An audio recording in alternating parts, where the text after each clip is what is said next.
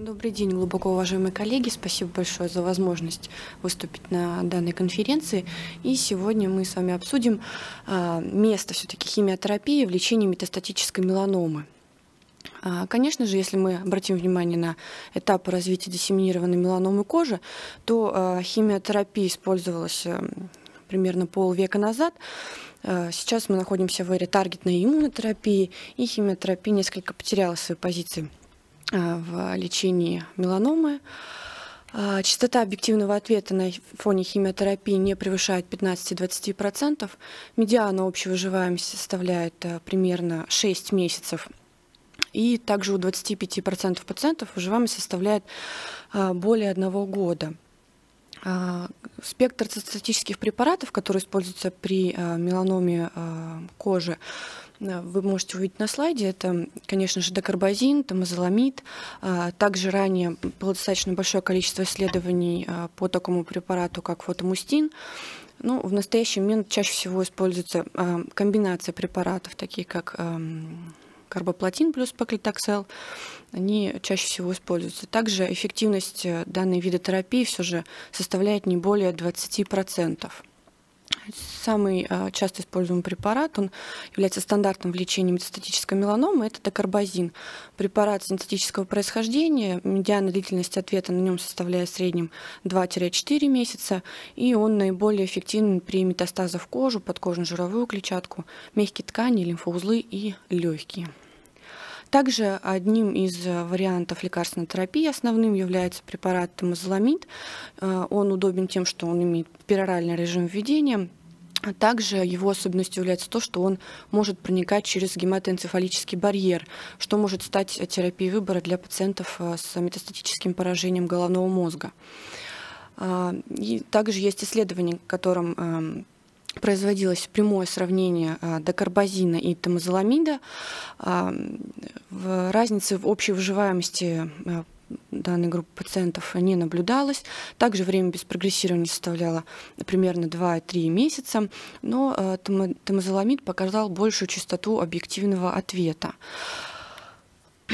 Э, также, э, как я уже ранее говорила, достаточно большое количество исследований есть по препарату фотомустин, однако в настоящий момент он не входит в стандарты клинической практики, в одних рекомендациях он не упоминается, но по данным литературы имеет достаточно высокую частоту общих ответов, а, составляет примерно 15% выше, чем у докарбазина. А, также э, по клиническим рекомендациям и по множественным исследованиям, которые проводилось, э, есть достаточно большое их количество, это применение полихимиотерапии исключением препаратов докарбазина. Ну, в настоящий момент а, эти данные схемы химиотерапии, они отошли больше на второй план, а, но достоверно доказано, что полихимиотерапия работает а, лучше, чем монохимиотерапия, и количество общих ответов больше а, на фоне полихимиотерапии. Однако общая выживаемость пациентов а, не увеличивается. А, вот в настоящий момент э, самой частой схемой химиотерапии, которая используется при э, диссеминированной меланоме кожи, является паклитоксел плюс карбоплатин. А, частота объективных ответов составляет примерно 40%, и медиана времени до прогрессирования составляет примерно 15 недель кому и когда мы все-таки можем использовать э, химиотерапию эм, в эру э, таргетной и иммунотерапии. Конечно же, это пациенты, у которых уже исчерпаны э, стандартные варианты лечения, которые прогрессируют на фоне таргетной и иммунотерапии. Также пациенты, у которых есть абсолютные противопоказания для использования таргетной и иммунотерапии. Также, конечно, к сожалению, не всегда есть эм, эти препараты в доступе. И при э, отсутствии какого-то из препаратов, например, если это иммунотерапия или таргетная терапия, то даже по клиническим рекомендациям, если в течение 28 дней э, пациент не сможет получить стандартные э, эффективные методы лечения, то как вариант мы можем использовать химиотерапию.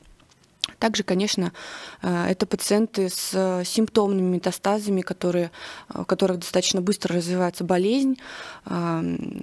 Эти пациенты, если также не могут получить вовремя препарат, который является более эффективным, к ним тоже может применяться химиотерапия. И вот из, по данным литературы из клинического случай. Это пациент 56 лет. В 2015 году у него была диагностирована меланома поясничной области слева, было выполнено хирургическое лечение, а также биопсия сигналифатических узлов, по данным которой выявлен метастаз меланомы кожи в одном паховом лимфатическом узле. Была выполнена ему а, лимфодиссекция слева.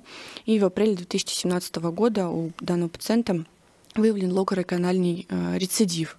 У него была выявлена мутация БРАФ-600Е, и в качестве первой линии терапии ему была назначена монотерапия вемрофенибом. Однако ввиду кожной токсичности четвертой степени, а также ежедневной лихорадки второй степени, препарат был отменен и ему была назначена комбинация э, таргетной терапии допрофенибом и трометинибом. Однако продолжался он на ней в среднем полгода, и далее было выявлено прогрессирование заболевания. Следующей линией терапии у него стала э, иммуноонкологический препарат, было выполнено 4 введения ильпилимумаба, однако после этого было выявлено истинное прогрессирование – у данного пациента. И в рамках клинического исследования второй фазы он получал терапию неволумабом один раз в две недели. И вот через 8 недель терапии, также, к сожалению, у пациента выявлено прогрессирование заболевания, выявлены новые кожные и подкожные метастазы, метастазы в лимфатических узлах. И вот э, как раз-таки это тот э, случай, когда у пациента уже были исчерпаны все стандартные варианты лечения. Он получил даже не один э, иммуноонкологический препарат, получил уже эм, достаточно большое количество и таргетной терапии, как и моно, так и в комбинации. Вот. И ему была назначена химиотерапия препаратами декарбазин и цисплатин. И эффект от данной терапии – это уменьшение очагов по системе рецис на 80%. Вот вы можете видеть на Э, данном слайде изображение этого пациента, э, достаточно выраженное уменьшение как э, по данным компьютерной томографии и клиническим. А, ну, все-таки место химиотерапии в современном лечении меланомы все-таки еще есть, а, как альтернатива для поздних линий терапии предлеченных пациентов. Также химиотерапия является доступным методом лечения, а, достаточно при высокой финансовой токсичности у иммунотерапии, при отсутствии других вариантов терапии или при задержке поступления препарата этот вариант терапии может использоваться. Также, безусловно, химиотерапия улучшает качество жизни пациентов ввиду достаточно большого процента э, объективного ответа. При этом, конечно же, общая выживаемость пациентов не увеличивается, но качество жизни улучшается. Ну вот, э, э, как заключение, что означает пациентам при прогрессировании таргетной иммунотерапии, это химиотерапия. Спасибо большое за внимание.